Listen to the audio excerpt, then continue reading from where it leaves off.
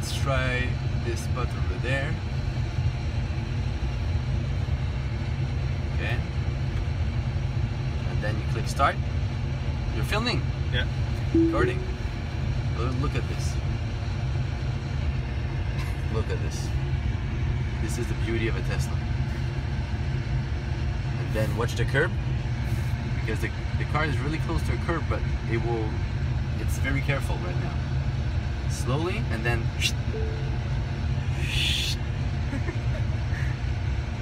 it's very tight, eh? You can see that there's not much difference. Front, and then it will reverse a little bit just to make sure that it's not too close to the front one. Just right in in, in between. And that's it, auto park.